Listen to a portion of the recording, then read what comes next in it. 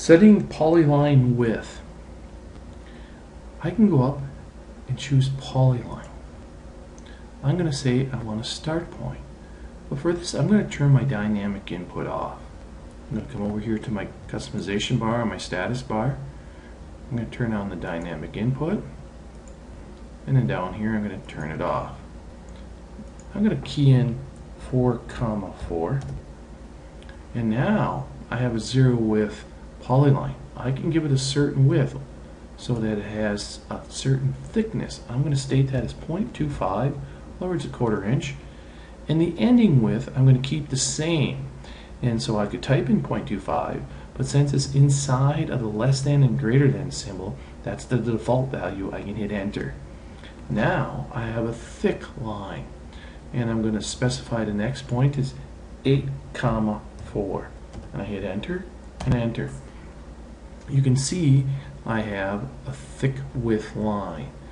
Um, I'm also then going to create another line just for comparison. I'm going to say here's the start point I'm going to pick and then I am going to pick the width and I'll choose let's say 0.5 for both the start and ending widths and so you can see I don't have to type it in uh, I'll just hit enter at this point and now I'm going to go along and just pick it off the screen. And when I'm done I hit enter and there's my half inch width line. Now I can make a tapered polyline.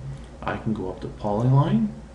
I can choose the start of the line at 4 comma 4 I'll hit enter. I'll come down here and say I want the width.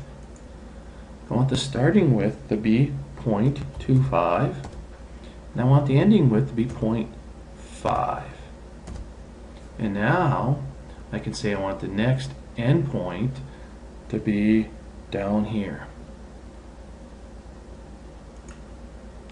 Oop.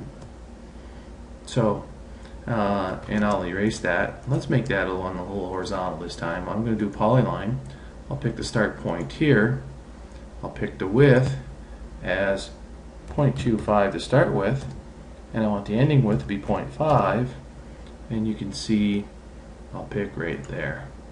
And so now you can see that I have a tap tapered polyline uh, and so at the beginning I have it at 0.25 and at the end I ending width I have it at 0.5 so uh, these come in handy for things such as an arrowhead um, etc.